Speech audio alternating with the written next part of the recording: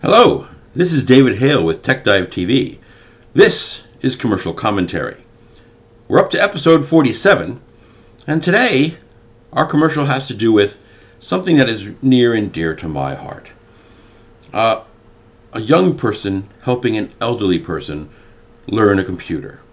Now, I used to teach at a local community college, and normally I would teach the senior citizens how to use computers. So I certainly understand fully what this boy is feeling about teaching computers to the elderly.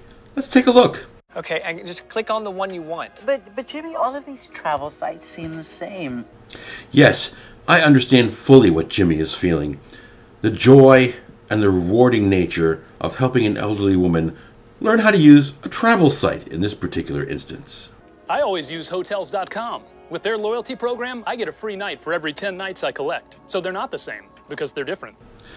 Thank you, Captain Obvious. No, really, that's his name.